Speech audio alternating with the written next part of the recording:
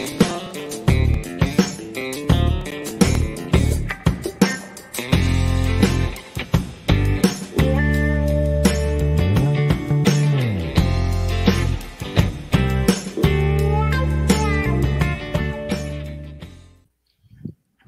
guys, Kyle Jaracz uh, coming at you live here, and I'm joined by my friends Claire and Tony. Hello, Hi there. Hey, everybody.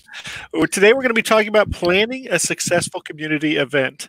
Um, you know, there's a lot that goes into it, and uh, we've done a little bit of research, maybe a lot of research. We've had some real world experience as well, Yep. and um, kind of put together some of this. But before we start, uh, while people are kind of filtering in and joining us, there's Terry Farmer. Hi, Terry. Um, just thought I'd throw it out to you guys and see how y'all doing. How are things going in your necks of the woods? Do you mean us or the viewers? Both. Anybody that's got a, got a commentary there? Well, it's a great day here Uh-huh. um, because it is my cat's birthday. Hey, happy birthday. Yes, Pepper is eight years old. He's sleeping because he's a cat. and that's what they do. Yeah. yep, that's his birthday gift to himself. All right. Did you It's nice getting and him? sunny out there, so you know it's a good day. Yeah. Yeah. So did Pepper end up getting some cheese today? he did actually. Right before this, uh, I gave him a little bit of cheese as a birthday present, and He's so he sleeping would it off. Yeah, I, don't- I didn't want him to get too excited and run around during the broadcast. So, Uh, good deal. Good deal. Uh, we actually went out on a walk earlier today, so enjoying the weather a little bit. It's really nice. awesome. Claire, did you have a question for us while we I wait sh- on a few more people to come in? I sure did. So, I want to. Oh, thank you, Mr. Cienko. He just said happy birthday to Pepper. So I'll I'll let Pepper know that you wish him a happy birthday. And if he does wake up at some point, he'll he'll be on camera for a minute. Perfect. Um, I wanted to ask you guys and our viewers, of course. Um, I wanted you to think about the best event that you have ever gone to, and this doesn't have to necessarily be an aero modeling event. It can be of any topic of any kind of thing. You know, concert, movie premiere, um, event at a museum, a fundraiser, anything. Think about the best event you've ever gone to and what made it so memorable to you? Like, why was it so good? Like, what about it made you say, this is the best thing I've ever gone to? I was I trying to think of a quick, few. quick, Uh, go ahead, Tony. Go ahead. Well, you know, I guess I, I can think back of a lot of different things, but I guess the one that, that grabs me the most was um, the first World Championships that I went to for pattern uh, was in Austria. And we had a great week being in Germany practicing, and then we went to Austria. But the the organiz- organizers did a wonderful job of uh, trying to entertain and and you know the, the event was great as far as the com- competition. That was great. It was run very well. But some of the extra things and i think that's kind of what you're talking about claire is some of the other Yeah. things that they do. Um, i mean we had the opening ceremony. It was done it was uh, all the people were were dressed in traditional garb from from years back. Mhm. so it was a big parade in this little town. It was really pretty all kinds of cool stuff. Um, and then the closing ceremonies were on two cruise ships where they fed us dinner on a cruise ship. We went around the lake at night, and then here's the real clincher: is about midnight. We were up there a long time. About midnight, they shut down the power grid for probably a ten or fifteen square mile area, so the lake would be in darkness. And they had fireworks over the lake for us on the cruise ship wow. That's really cool, man. and it was uh, it was really awesome and obviously it would take you know uh, I don't know what it would take to, to, for somebody to turn off your power to, to enjoy the fireworks party on Hey, we've got private lake. company over town. Let's just shut it down for a little bit. down, right so I mean those things I think are, are really uh, grab me as as uh, you know very memorable experience something that you would not normally do obviously you're sitting down eating dinner with people from all over the world so it was a it was a pretty cool event and just kind of those that highlight was probably the thing that that pushed it over the top That's awesome. That's a really good one. I don't even want to talk about mine now. well, how about I'll do, I could do mine and then and then we can round it out with yours because I. I also came up with one. All right, let's Um, hear it. a few years ago, I went to the American Alliance of Museums convention in Washington, D.C. And of course, Washington, D.C. is the home of the Smithsonian, um, our American treasure. And there was a big end of the convention party at the Natural History Museum. And so not only was there an enormous spread of free food and deliciousness, but we got to explore the museum after hours and they had a DJ and they played September by Earth, Wind, and Fire. And I don't know if anybody out there is a fan of um, Night at the Museum, but they played that song at the end of the first movie, and I literally felt like I was in Night at the Museum. It was incredible. It That's was cool. just the most fun thing ever. nice. Nice. You know, mine was going to be really quick. Yeah, we, we need to jump into this real quick, but uh, honestly, I had a great time at uh, my first Oshkosh, which was actually last oh, yeah. year. Got to, to go up that. there. I mean, it really is. It's hard to beat. There's, you know, everyone's friendly. Uh, we're all there because we love aircraft, love aviation, and um, you know, that was a really um, I would call it a special time to be there and and just have my my mind blown by all the incredible stuff that's up there. So, um, you know, looking forward to hopefully attending this year as well. We'll see what happens. That's definitely on my top five list as well, Kyle. yeah, good, good. So um, we are, as I said, talking about how to plan a successful community event for your club. Um, you know, there's a lot that goes into it, and um, there's maybe even some stuff that you've thought of or, or practiced um, at your club fields that could help us grow and, and modify this document. But um, we've put together these resources. Claire, you've done a great job of, of bringing these together to the forefront. Um, and we've actually published this uh, on our AMA Flight School website. Yep. It's uh, an opportunity for you to look at this and really jump into um, what's going to make your event the next level? What's going to bring it to that next level? What's going to um, excite the community um, to really want to participate with your club get you some good press um, and um, help you as you define what your goals are uh, throughout throughout uh, setting it up. Absolutely. So we have um, on amaflightschool.org slash community outreach we have our guide and it's a, simple eight step guide to planning the ideal event. And i know event planning can be a little bit intimidating. It can be kind of scary because you you want to plan something that is totally awesome right? You want something where people are going to leave saying i can't wait for next year right? yeah, yeah. And so, one of the very first things that you want to do is define your goals. And one of the first goals you want to kind of define is um, who's your audience? Who are you trying to attract to this event? And so, is it is it club members? Do you want to just put something fun on for your club? Do you want to put something fun on for your local community? Are you looking for new members to join?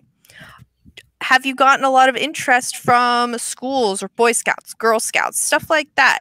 Think about who you want to bring to this event. That is one of the very first things because that'll help you plan out the rest of the event from there on out. So define your audience. Mm-hmm. And another aspect of the very first part of um, planning your event is whether or not you want AMA sanctioning. Now, mm-hmm. Tony is the expert on um, sanctioning here. So if you could tell our, our viewers a little bit about that, Tony, that'd be amazing. Sure. Um, sanctioning is really for so that another event doesn't necessarily take your pilots away. Mm-hmm. So it's important that you kind of look on your calendar in that process of figuring out when you might want to do that. Um, you want to make sure that flyers are available. You know, if, if like like Claire said, if it's your club putting it on, it's probably not a big deal. But if you've got some people maybe coming from out of town that you're wanting to to to use in that demo or whatever it is, you you want to kind of find out what's going on that time of year. So hopefully yeah. you block off a good weekend time. Exactly. Well, the coolest thing about having an event is having the model airplanes in the air, right? So you want to make sure you've got plenty of pilots out there. Yeah, right. If you're doing a demo for the public, you're probably going to reach out to some folks that you know, you know, that's going to come. So you want to make sure they have a free weekend. One of the ways to do that is look on the AMA sanctioned event calendar. And just make sure that there's nothing pressing. Uh, a Class C or Class C event is kind of any non-rule book event, fun fly fly in. We actually have demonstrations that are Class D's, but you could even do that as part of Class C. So you just want to make sure that there's no official event going on that might pull. You know, if if you're in South Carolina and you're planning your event the same week as Joe Nall, um, that you might want to rethink that weekend. there might be some better options out there. so, so yeah, it's kind of things like that. You want you want to look that over, and, and even sanctioning the event itself. Um, it may or may not be a, a, a, big deal for you to sanction. The sanction does kind of save that date for you, especially if you're running competition event. So sanction is a cool thing to do, and, and also if we're talking about community events, sometimes you're going to have those at a different place other than your regular club field. Maybe it's going to be at a city park or it's going to be at the fairgrounds or something like that. So this site wouldn't be a typical site that you fly out. So you might need to get site owner insurance for that event week, and you can do that in your sanction. So um, that's another good reason to do that. You'll be able to get site owner insurance for that particular organization or person that owns the land. So yeah. those would be the reasons I would reach out for a sanction.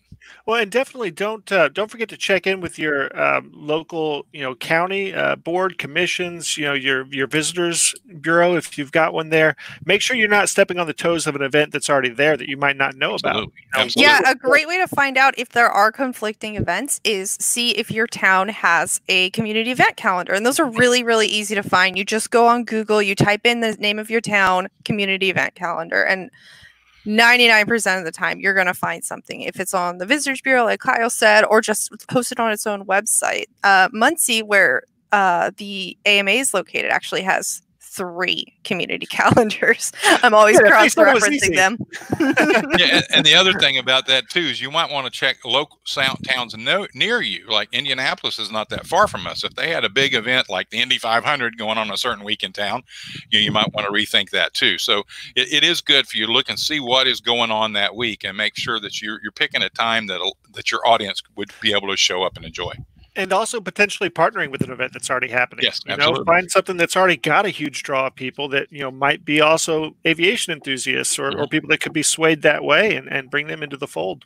Absolutely. Right. Actually, piggybacking onto an existing event that is relevant to what you're trying to do is actually a great way to kind of get your feet wet in mm-hmm. event planning because whoever is putting on this existing event probably has been doing it for quite a few years and so they have that experience behind them and you can get so much good advice and um, guidance that way. And so you're not so scared of putting on your own event for the very first time. You have some veterans there to help you out yeah so and and, and totally. you can take advantage of what they've done. They've probably got food vendors there. They probably have porta potties there. They probably have security and and safety yeah. people first uh, first responders there. So that kind of takes some of that complexity out of the situation as well exactly yeah. good call so now that we um, have, it sounds like we have an idea for our event, we have to, I'm not going to say elect, but you have to pick someone who's going to be your event planner.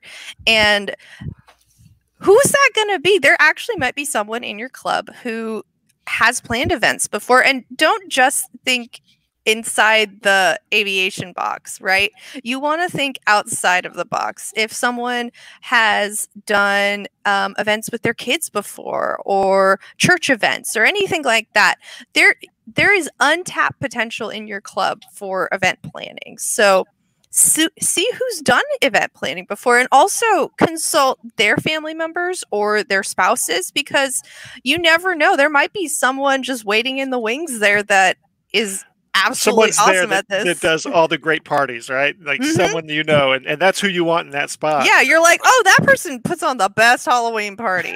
They're going to be in charge. yeah, yeah. So, you know, select your event planner and then they will um, establish an event subcommittee and you you want to spread out the responsibilities you don't want to take this all on by yourself because you will burn out and you will be devastated if you don't get every single person to come to your event because you put your heart and soul into it. Obviously, you do want to be very involved in your event planning, but you don't want to do everything yourself. Like that's my that's my big advice for you guys. so find someone who again, this is kind of like tapping into everybody's skill sets. Who knows who to rent um, party supplies from you know like where are you going to get tablecloths pick someone to be that aspect of the event Mm-hmm. who knows some food vendors have them do that aspect and so on and so Yep. forth Yep. so you know you establish these roles very very early on and that way everybody is held accountable and you're not take you're not biting too much off at once you want to make sure that you know you know what you're doing everybody knows what they're doing and that brings us into planning. You have to have you have to plan to plan right? And so you got to plan um, consistent meetings for your event planning process because otherwise you're not gonna know the left hand does not know what the right hand is doing right? So you know someone might be way way ahead in planning ahead of you and you're like uh-oh i don't have a venue. Yeah. So sure that, that you get all that stuff. Yeah, it's really important to have that committee together with everybody with having their own specific um, tasks that they need to accomplish, and then a reporting process where you go back. mhm. Um, I, I I also have run two world championships where I was the contest director, and those are you know where you're dealing with 45 countries, all that stuff that goes with that. There are a lot of pieces from rental cars, hotels, Mhm. language people that you grab from a local university. There's so many pieces, and sometimes you don't know what those pieces are completely. So if you can divide those things up, like Claire's talking about, someone can take those Yeah. processes on. Then when you have your weekly meeting or whatever it is, and something comes up, you can bring that to the group and determine, oh, we need to do, you know, move a need a new person or we need to do something extra. That Yeah. communication will help you to have a really good quality event. Yeah, being the lead on something like this doesn't mean you have to do everything yourself. You can't, in fact. Like you've got to find people you trust, you know, delegate that authority and trust them, you know, trust them to get things done. I, I think that's leadership 101. Well, I, I, I think I would take it almost to another step, and I would recommend that the person that's the organizer mm-hmm. that's running this meeting, their job is organizing the meeting and the people. You almost need to be focused on that one task and not have your own outside tasks to do, depending on the size of the event and what you're doing. But you could have some stuff that really gets complex when you're dealing with counties and parks and different things. So, um, yeah, just you need a good organizer to be the person kind of managing this whole process and then Yeah. grab your specialists that have those skill sets Certainly. I'm going to jump in really quick. Ronnie had a question. Hey, Ronnie. Um, it was if I have a youth contest of a non AMA class, can I sanction without all participating being AMA members? well the the issue is at first the nice thing about a youth the, the, the quick answer is no you can sanction the event but if they're not ama members they wouldn't be flying under our insurance which could could compromise your site owner so that right now the thing to do is youth under eight under 19 are free so right now i would grab those youth sign them all up and they can come and fly in that event and they're good to go so mm-hmm. that's the best answer for youth Yeah. All right, cool. All right, so where are we at? We've pretty much defined the goals, Yep. I think, Claire. So what's next? Well, we need to define a timeline. And so I I'm a planner. I'm somebody who likes to make spreadsheets and get everything all planned out. You should see how I plan my Disney trips. But anyway, um you want to start planning an event minimum 4 to 6 months out. So if say okay, it's April, right? So let's say we're going to do a harvest fly-in in October. And so we want to get started now. We want to think about everything we want to have happen. Then giving yourself a long timeline helps you so much because, like Tony said, especially if you're expecting international participants and attendees, they need to be able to set up their flights, their hotels, their passports, you know, but not even just international guests. You have to think about, okay, what venue do I want? Is it going to be available? Um, who am I going to get out here? You know, you it gives you enough time and also the people that you're involving enough time to prepare for the event and a lot of other things that we're going to go over a little bit later. So, timeline 4 to 6 months. For me, ideally a year. I say start a year in advance because then you'll just get all on lock and it'll be pretty awesome. So that's Yeah. number two. Define a timeline. When will it take place? Yeah. Number three is where it gets a little dicey and people might get a little uncomfortable because we're going to talk about money. you need to set a budget. And again, this this goes back to um, planning it really far in advance because if you've never planned an event before, how do you know how much tablecloths are going to cost or porta potty rentals or venue rentals? Like if you're starting from scratch, you need to figure out how much all this stuff is going to cost and how you're going to pay for it. Mhm. And so how are you going to pay for it? Know, obviously, typically you have a you know a, a fee that you're going to charge the pilots, but it depends on what this is. You know, if it's a if it's trip, you know, definitely a community event, you're having an air show, you're going to charge parking or attendance from the spectators. So you got to figure out what your local uh, people would be willing to pay. Uh, Yep. in order in order to, like you said, start that budget. So that's a very important piece of this that you need to talk about early because and talk to local everything else. businesses talk to you Oh, know your yeah. visitors bureau you know reach out do some fundraising you know um, if you're if you're going to go to the level of having like an event t-shirt or something hey that that spot on the back is perfect for logos you know and um, uh, you know, in a lot of ways everybody. Everybody will do. that. I've had clubs that had Burger King help them, and Mhm. yeah, Lowe's, look into just all other kinds of stuff. yeah look into local businesses start reaching out see who you can get to um, sponsor your event or cater your event or even donate food or product to your event which would be awesome One of the you al- one, one of the best ways, clearly, is that you check with your club off club members. There's club members Exactly. that work somewhere, and they may be able to talk to their boss or their company, and they have a advertising budget. They'd be happy to throw a couple, three hundred bucks that direction for something. That happens all the Exactly. You have you have this great resource. Every single person in your club has their own network. And so you tell them okay you reach out. Who do you know? Who do you know?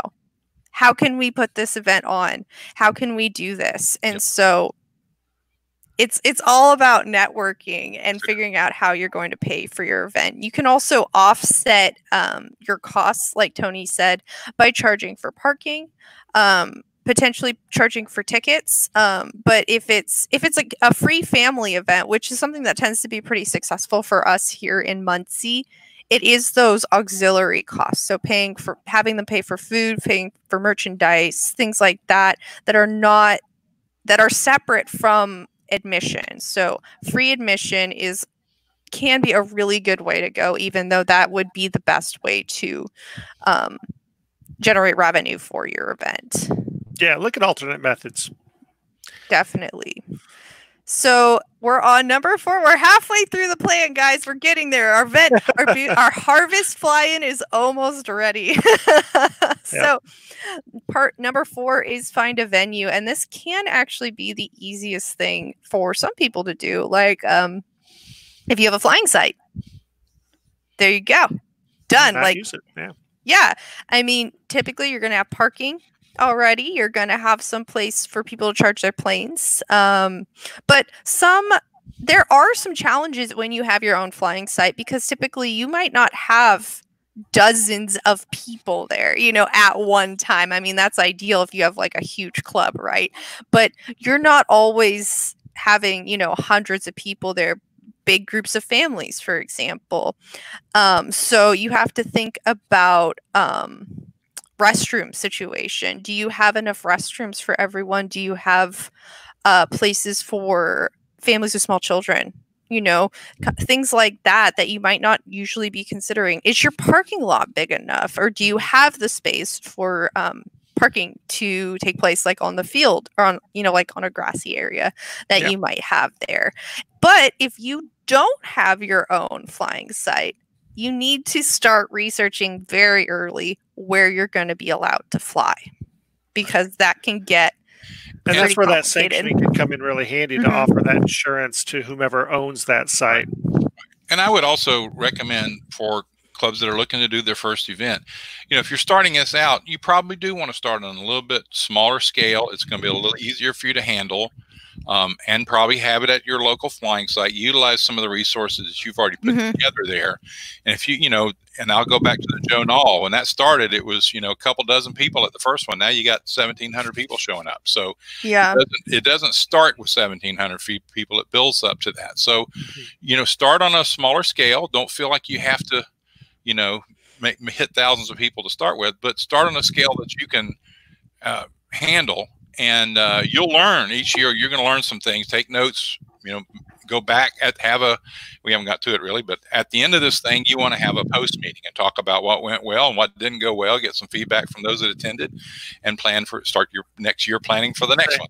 You're 12 months out from the next thing. That's so right. you know, work on it then. Exactly. um, looks like we have a comment here. You know, um, are we going to cover changes that clubs can make in operations in the post-coronavirus world? I think it's always good to keep an eye on the environment, uh, realize what's happening, and make accommodations for that. So um, I know that there's even some uh, clubs that are doing events right now this weekend. You know, events aren't shut down, um, but events are taking place in a safe manner. You know, you have to, depending on wherever you're at, uh, maintain that social distance, maintain hand sanitizer, uh, make sure that you're getting masks to participants, whatever it is that you need to do to, to have a safe environment. You know, that's one of the, the first uh, and primary um, responsibilities of, of your club as you host an event, making sure people are safe, making sure everyone understands the rules, the regulations, the safety code, um, and um, that you're putting the best foot forward, not only for yourself and for your club, but for the organization and for the hobby as, as a whole.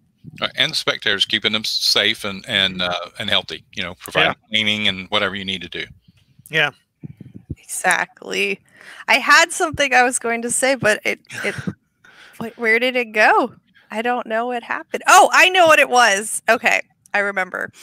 As we move forward um, in in the coronavirus era and post coronavirus, um, don't anticipate your attendance to be as large as it has been in the past. If you've had events before, people people are hesitant right now and they will continue to be. So you know don't let that stop you. Still keep planning your events and just consider social distancing. We have a great website. It is modelaircraft.org slash covid dash 19 it has lots of information for you guys and how you can kind of navigate this situation mm-hmm. while also still enjoying the hobby. So Yeah. thanks for that question. That was actually That's a really good question. that was great And also, hello to all the Marines around. You know, um, Hoorah! too bad you didn't go Army. Hoo. But that's okay. Go Marines. oh, easy now. Marines are my favorite. I actually interned at the National Museum of the U.S. Marine Corps in Quantico, so Marines are my favorite. Hey, appreciate you guys. Hoorah! All right, friends. All right, where are we, we at are- here, Claire? We're at part five. So, um, plan your program. Um, so this is kind of the schedule of events. How long is your event going to be? Is it going to be a full day? Is it just going to be a couple hours? Um, is it going to be? Sorry, I'm looking at Maybe a full, maybe a three day I see the comments. That's when Uh, yeah, started here. is it going to be a multi-day event i would say if you have zero experience with event planning i would start with something fairly short like just an afternoon or an evening event something small-ish Build up So- to it. yeah build up to that three-day event don't don't try and do three days just like right off the bat um also again this goes back into um planning your event like figuring out the time of year you're going to do it because um if you want to attract families a lot of times actually morning events can be better for them because uh, the kids are awake they're not hungry yet they don't need a nap yet you know the families will stay longer. And also if you are planning um, a longer event over the period of a full day you do have to consider things like food vendors because again if a family has small children or children at all really and the kids get hungry they are leaving they are not gonna stick that. around. Like the kids, once the kids get hungry, it's like no amount of goldfish crackers and juice are gonna cut it. Like they are gonna go. So you you got to think about that Well, kind of thing. about you know if you were to- host an event in your living room, you know what are the things you're you're taking care of people. Like that's the first and foremost. You're taking care of people and trying to you know think about what they're going to need and meet those needs before they they are even there. You know Mhm. that's that's the I is thinking about people and what they need. Yeah, exactly. And so you also, in addition to the flying portion, which of course I think any kind of air modeling event that you're going to be putting on for the public is you're going to want to have a flying portion. You're going to want to have a demo, but you also need stuff for people to do. And um, that's just that's just how it is because if someone has no interest in aero modeling, and I'm I'm sorry, you guys, I, I hate to like break this to all of you, but there are people that exist that don't like model airplanes. What? We gotta fix Uh, this. I know we can fix this with our how to plan a successful community event guide. So they're not going to want to stick around for that air show at two o'clock if they show up at 10 a.m. They're going to want to have stuff to do. And Yeah. so a great thing to have are flight simulators. Mm-hmm. A lot of clubs have done this. I, I hear about people doing it all the time. Actually, iFlyAMA. I'm always seeing posts from clubs um, sharing how they had a flight sim at an event and people loved it. I've taken those to Girl Scout events and it's easily like the most fun thing because everybody really gets into it. So, flight simulators. Um, if you have um, if you have a pond at your club, which I've noticed a lot of flying sites have ponds for some reason, um, have RC boats. Have more demos. Have demos of things that are not just uh, radio controlled. RC or cars, even. RC cars, some- yeah. paper planes. You know, like Yeah. give kids a template and some uh, crayons. Uh, um, I was going to make a joke there, but I won't. Uh, markers, all that sort of thing, and um, you'll keep- nine. FPG, FPG nines. nines, yeah, are world And, famous and you guys, we can we can get those from AMA. They're very inexpensive, but we can Mhm. you know talk to the education department about that. But those are one things you can easily add. Uh, you, it doesn't take a whole lot, a couple of tables, some of those there, maybe one person kind of giving them some guidance, like you said, crayons, markers. Knock yourself out. Kids will have a great time. yeah. just paper airplanes are really really easy i have um, actually our quick projects if you visit amaflightschool.org slash quick projects we have a super easy to build or fold really paper airplane that all you need is literally an eight and a half by 11 piece of paper so if you're running short on your budget at the, po- at the part at the like when the event's happening and you really really need a kids activity just have someone bring a pack of paper from their house and Yeah. start folding paper airplanes with the kids And you know what? There's something to be said for for you know buying like a bulk pack of Delta darts. If you've got time Mm-hmm. and enough volunteers to actually guide kids through that process, like that's what, what ignited my passion for model aviation. Was I, I you know built a Delta dart at like age ten or eleven at the local park, and they did a little contest, and you know we all tried to see who could fly the longest, and um, it was great. It was a great opportunity, and you know you can also develop those partnerships as you're making this um, this event you know all that it can be you can find the rocketry guys in your area and um, you know maybe they could come out and, and build some model rockets with kids too you know the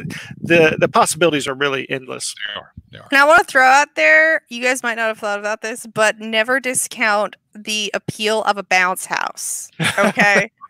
there Any is. event that has a bounce house, your kids will not want to leave. And if you're really into the planes, little Johnny can go jump in the bounce house for like three It- hours. it really is amazing. like even now you know i've got uh, almost 11 year old and when he sees a bounce house he's like hey dad check that can i uh can i go Can I- it?" can I go, big uh, now man you can't do that but Good memories. That-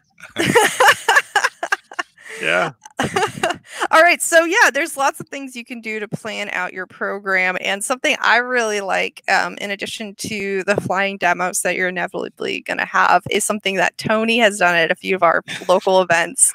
And that is a candy drop. And it is just the coolest thing. Like, I remember the last time uh, Model Aviation Day, we had a candy drop and actually was on break at the time. And I could see it from the museum uh, break room window, and I was like, "Oh, there it goes!" You know? like I knew it was going to happen, but it was still so exciting. So if you if you have that ability, I highly recommend doing a candy drop for It's a the great kid, thing to get someone in your club to have an airplane that has uh, that capability, and it's uh, very easy to do, and it does uh, attract a lot of people. A lot of attention comes to that. Yeah, it's so, so much fun.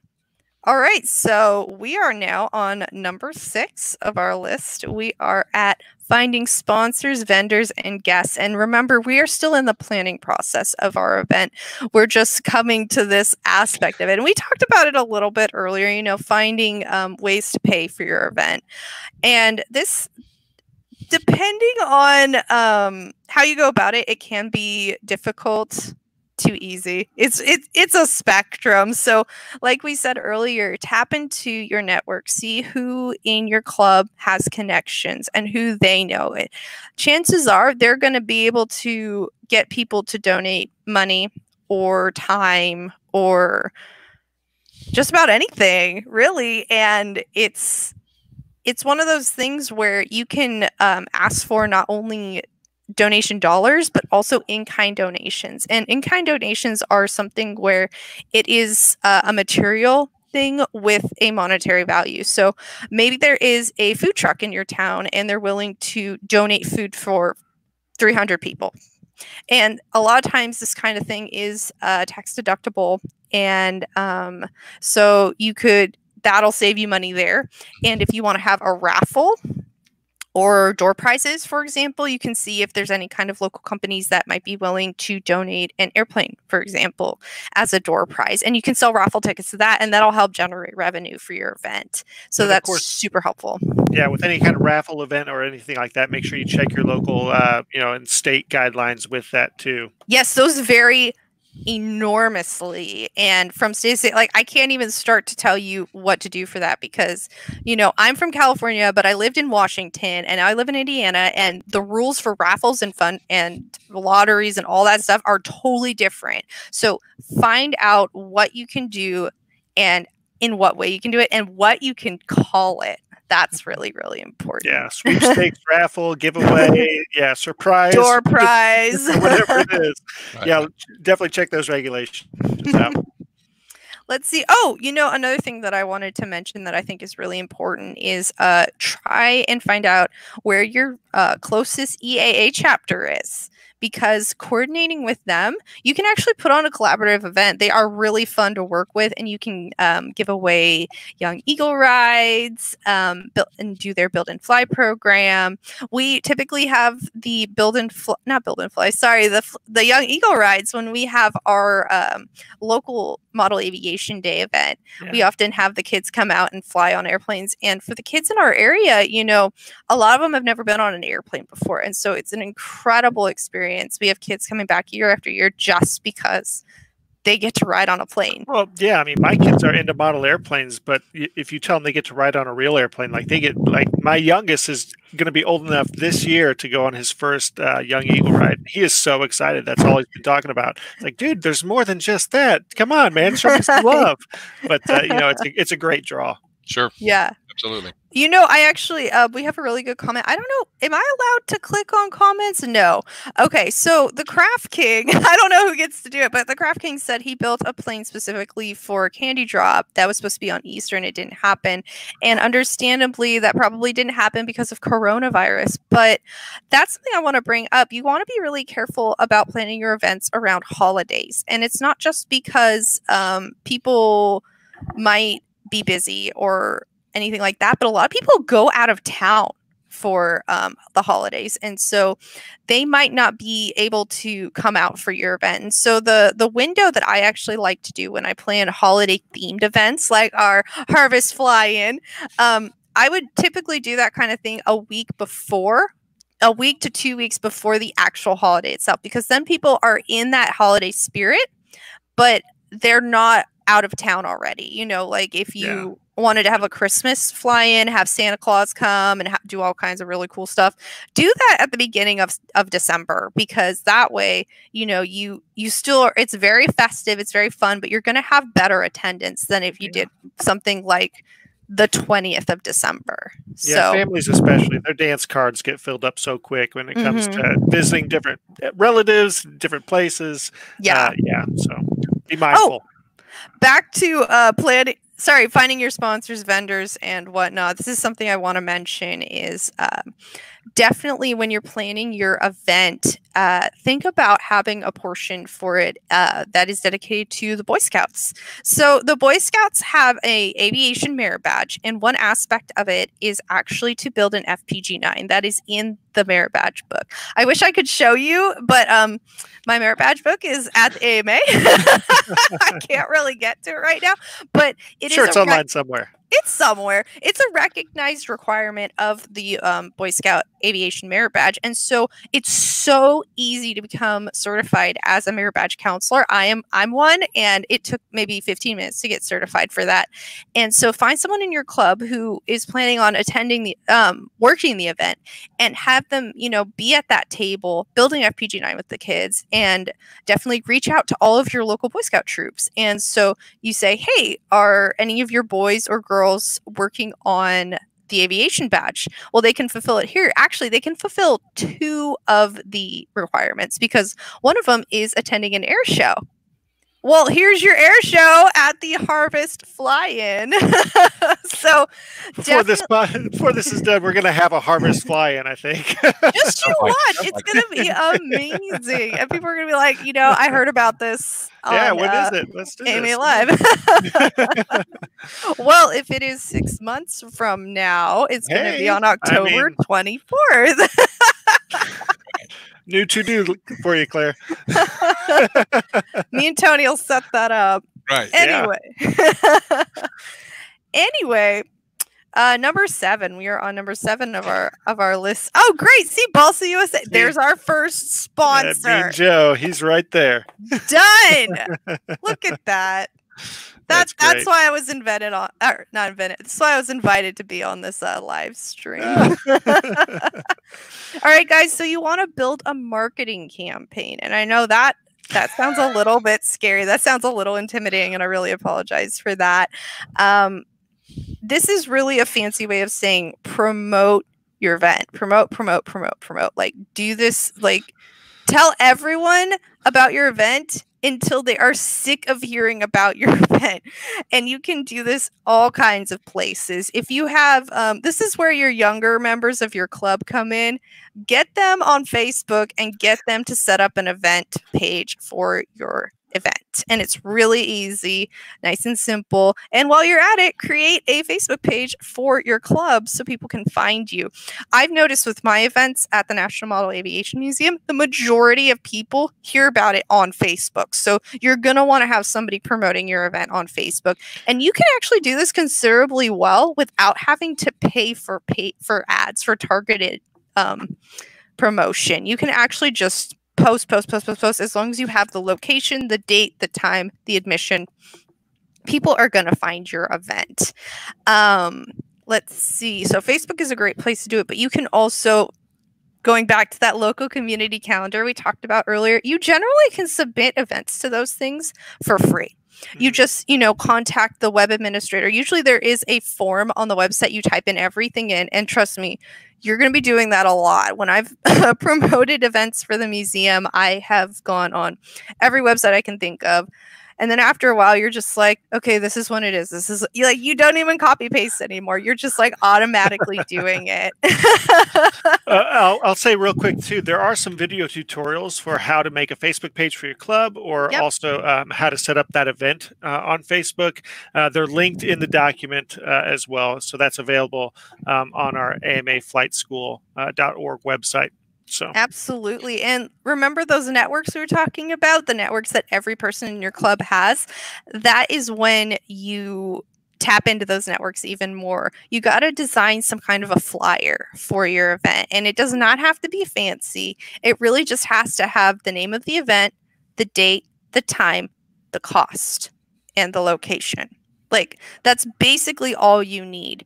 And maybe a picture of a flying pumpkin because this is a Halloween event. Harvest flying.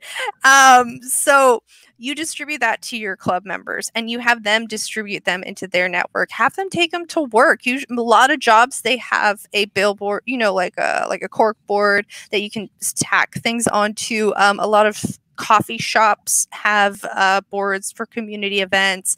Just go around town. Uh, grocery stores have them, libraries, anywhere where people gather, generally speaking, will have a place for you to put up a flyer for your event. So just pound that pavement, like get yourself out there and get the word out because people will really respond to that and they will mm-hmm. really know where to go and when to go to it. And well, it's a lot more difficult to say no to somebody when you're right there next to them. It's like, hey, yeah. would you like to support this? It's going to be great. You know, I'm a friendly guy. You, you know, you want to help me out. It works out really well that way. Yeah, and that's another great way to um, get your sponsors for the event. You know, if you're like, hey, would you be interested in sponsoring? You know, you get your name on the T-shirt, you get your name on a banner, whatever that kind of thing is. Like, you can work that into your um, your uh, your budget.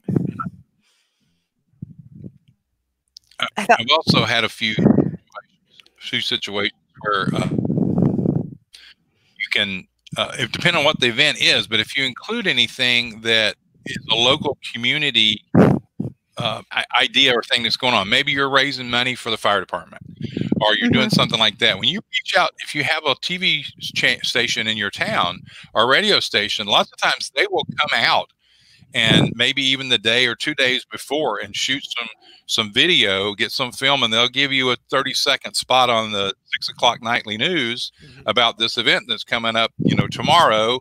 Uh, it's great. Bring the kids out. They're doing this, and it's for Toys for Tots or it's for whatever. And uh, that that will get you. Uh, and another way to get on local radio station or on TV, um, and even in the newspaper. So th- yeah. don't forget using those kind of traditional outlets as well. Absolutely. That kind of thing really, really helps. Um, it helps a lot. And also, uh, raising money for local charities that can really help a lot too. That can gain get you a lot of um, attendance. So see what is out there. You know, see if there is a school, any kind of yeah. um, like Toys for Tots, that kind of thing. Um, and see if there's anything you can oh local children's hospital that's another great one and you can even incorporate that, that mm-hmm. into your theme so if you're having a um a holiday fly in for example in december you know you can make it into bring bring a toy for you know the kids at the local children's hospital or something yeah. like that you know create that community, community, atmosphere. Yeah definitely and that's something that that is so valuable because uh, when you build up that rapport within the entirety of the community um, when your club is known for being the go-to that actually supports people and helps people then when it comes up time you know when someone makes a complaint or there's an ordinance question or you know whatever it is when you face those trials as a club if you've already built up that kind of goodwill towards you know you guys being part of that community the community will really step up and uh, support you as well yep, absolutely so we have now we have now put on the first annual harvest fly-in at the AMA, as uh, Mean Joe put it, because I'm CD of it now. Fun fact: I wrote that exam, so I'm an I, I'm a CD. It's basically that's me. I would love to put that on, honestly. Um, now, now that we have had, now that we've had our event, our wonderful, amazing event, um, you have to build on your new relationships with attendees. This is actually kind of rewinding back from what Kyle was saying that's not the end of it. Like when you put on your event, when it happens, that's not the end. You don't want these people to come to your your flying site one time. You want them to keep coming back for the future. So they're going to say this was great. I loved it. My kids my kids had a great time. When are you doing something else? You need to have an answer for that. Yep. You need to have something in the in the works secondary event committee, you know, plan already planning something to happen, a, another event to happen so that they will keep coming back and they'll keep that interest. And even if it's just having, you know, someone in your club that is, you know, designated as that welcoming person, the, the mm-hmm. guy that says, you know, hey, I'll step up, I'll teach anybody to fly and say, you know, actually in two weeks or in one week or whatever it is, we're going to have an open house again where if you came to this event and you're excited about maybe learning how to fly these things, come out. We'll we'll do some buddy boxing. We'll have fun. Um, you know, whatever that is. Mm-hmm. Uh, it, it could even be as simple as, hey, you know, we're going to do this live event on Facebook. We're going to host this quick project. We're all going to build this thing together, and it'll be fun. And then we can meet back here and and you know do a competition with them or something um, you know there's a lot of different opportunities out there to, to keep people engaged because if you put forth all your effort and energy like once a year in your community well a year is a long time. And it can be a great event but if you're not doing things consistently people don't remember you consistently. Yeah exactly. you'll find that if you if you have uh, activities it keeps your club focused and involved and active so I would I would encourage you to have several things, even if it's just a club event. And and like I said, one like Kyle brought up, one of the most important things I think for all of our clubs is most all clubs are looking to gain some new members. Mm-hmm. So you want to grab onto those folks. Maybe you do a post activity survey, or you ask some questions there at the event. You have somebody who who's kind of watching and they see a kid or a family that's more interested, you know, really asking questions, and you reach back out to them, say, "Come back Thursday night. We're having our Thursday night training night. Come out and bring mm-hmm. your airplane, or we'll provide an airplane."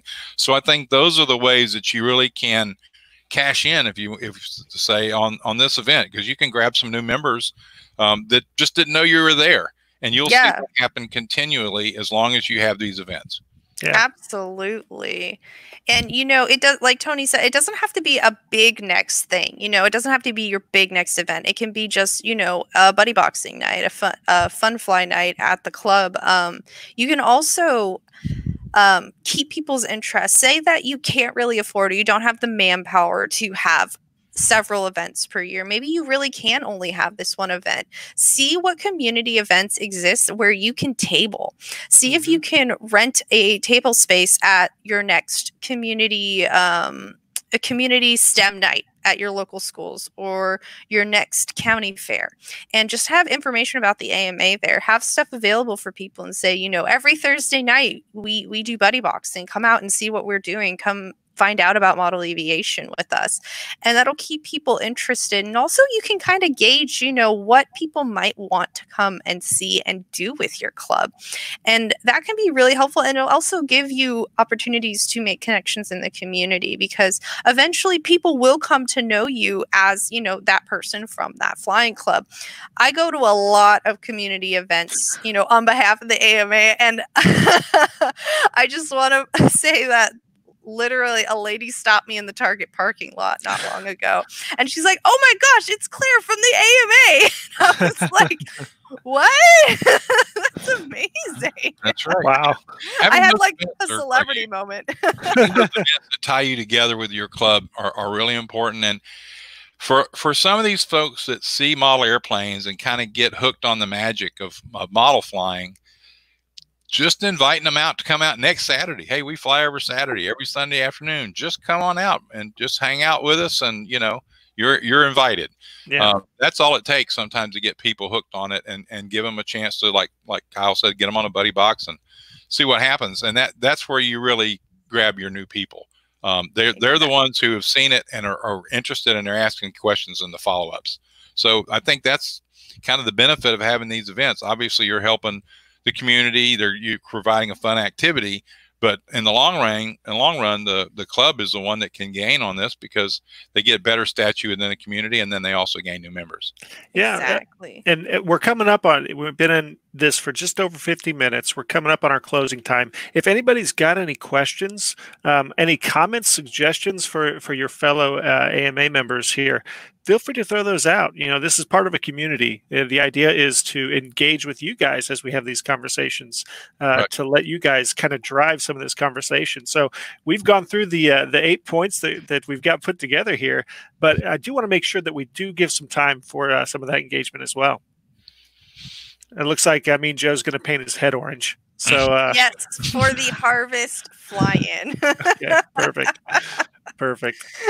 well, I saw there on Douglas Leroy's last note that uh, he said their Parks and Rec affords them three events a year, and where they buddy box with the public, and they flew over 200 members last year. That's awesome. Fantastic, So that's Douglas. a really great event, and you can use uh, some of the other things that the education, the tag grant, um, is a great uh, grant that you can get as a club to Mhm. create. You buy some flight simulators or trainer planes and use them in that in that uh, newcomer type event to get people uh, exposed to model aviation and flying. So those are great things to do. And in a park and rec situ- situation, that's their job. The park and rec is looking for something to get people to their park. That's why they exist. So Yeah. the club is doing them a favor by creating an activity that brings a new demographic to their park. It's a perfect partnership. Reach out. All right, we got a comment from SC. He asked when uh, is the next harvest fly-in. Um, right now, it's a hypothetical event, but you will be the first to know when it does actually happen. We'll put that on Facebook. It'll be a whole thing. I mean, Yeah. Mean Joe's gonna paint his head orange, so I mean, it kind of has to happen now. We can start. oh man. we can do a dry run at the AMA Fun Fly fly-in that's happening in There you uh, go. yeah. start of July, I think, it, or late June. So We check can that do out. um, a bunch of Halloween themed aircraft. Yeah. That's right. Yeah. Well, Halloween's a great time because there's you know candy on sale typically for those drops That's as they right. come up. That's right. well, guys, um, we'll keep our eyes open for the next few minutes as uh, some uh, more questions or comments might come in. But I, I would be remiss if I didn't mention if you're not a member of the Academy of Model Aeronautics, of course, you're welcome. Um, you know, we do a lot of different things for communities, uh, but as far as communities, this is a pretty nice one to be a part of. Yes. Um, from different flying sites, whatever you fly, you know, and wherever you're flying, we've got your back, and um, we're excited to have you in this community. So, Yes. if you haven't been a member in a while, um, if you're thinking about becoming a member for your first time, either way, uh, you're welcome. And if you are a member and you're watching, you know, thank you very much for your your support. Um, it really does mean a lot. Um, not only to, to me uh, on staff, obviously, and, and to us as part of this community, but as a flyer myself, um, you know, the support that the Academy of Model Aeronautics really does provide uh, in terms of government advocacy, community advocacy, uh, and just straight up good, clean fun. Um, it's a great place to be. And Sure. make sure if you uh, haven't liked, shared, and subscribed uh, to our YouTube channel, definitely do that. And be sure to join our community page. It is iFlyAMA. It's facebook.com slash groups slash iFlyAMA, I think. Either way, just search for iFlyAMA on Facebook and you can join us there. It is tons of fun. And I would I would be remiss if I did not mention that uh, AMA Air will be coming at you on Friday, May 1st. I think it's going to be another live episode. So be sure to tune in for that. I'm having so much fun doing these lives. Yeah. So I hope you guys like them too. for sure. Let us know. I mean, we're always out to improve, but uh, as far as having a great conversation with you guys, I couldn't think of two people that I'd rather talk to on an afternoon on Friday. So Yeah, great to It's see you. Well, uh, with that, guys, uh, we'll keep our eyes on the comments even after this uh, is not live, um, and uh, feel free to share share this with your friends if they if they happen to miss it, and um, hopefully we'll see y'all at the flying field soon. Absolutely. Have a Thank great you. weekend. Bye-bye, Bye, guys. everybody.